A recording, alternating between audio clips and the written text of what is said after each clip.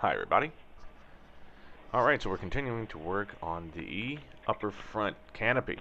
This is what holds the main acrylic, I think it's acrylic, uh, canopy onto the top and also secures the top of the fuselage between the very front up top and the cockpit. Or basically just between the sub panel and the main panel. That's what I'm trying to say. So we're working on the substructure for the top. Um, it's not really terribly difficult. Uh, you just have to do it in very specific order as Vans tells you.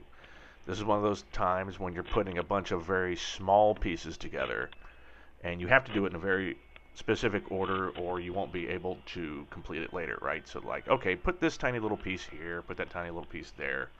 Oh, you didn't put the there piece first? You put the there piece first and the this piece second? Yeah, you're, you're screwed. Now you have to take it all out. Uh, like I said, it's not terribly difficult.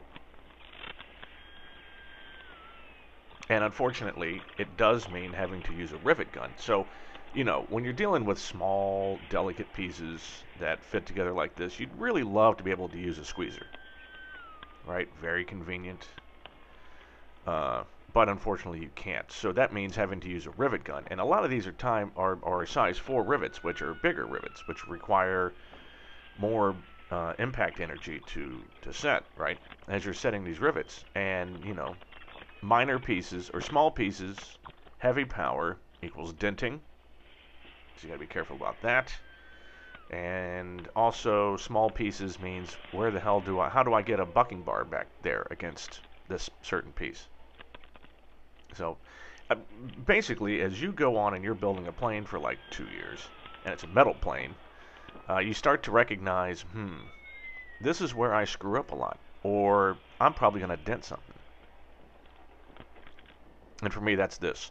Uh, okay, so there, you see the two blue bars uh, that just got put across the bottom. So Van sends three of those, and they're made specifically for just this. So what they are is they're spacing bars. Uh, as I was talking about before, right, so basically it's this big, large, curved piece that we're making, and it has to be exact fitting. And the first time you put those bars on, Van says, you know, you may have to squeeze this together to make it fit, to make it actually go together. And they're and they're right. So the pieces that they make don't naturally want to fit into the shape that you see there, right? You got to kind of squeeze it a little bit. It wants to be flat, and you have to squeeze it round, if that makes sense. Uh, once you do that, though, and they're together, obviously the idea is that you will be riveting them together, or you'll be riveting all of this up with those brackets in place. Right, with those brackets in place, with you riveting everything that way, it'll become set, right? And then you don't have to worry about it trying to flatten out. As you can see, we've got the uh, top skin clecoed on. There's so this is this chapter is the epitome of okay, cleco everything together. Okay, drill two holes. I'll take everything apart.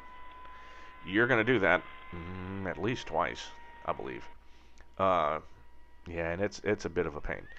Uh, here you see me. Uh, we are drilling down the flat, drilling down. We are shaping down the flange edges. So you know how we were doing the ribs a couple of years ago for things like the uh, vertical stabilizer and stuff, and wherever there are ribs and flanges, you had to kind of shave them down as to not create little bubbles in the skin. That's what that is. So along both of those hard connected kind of internal ribs, you got to shave it.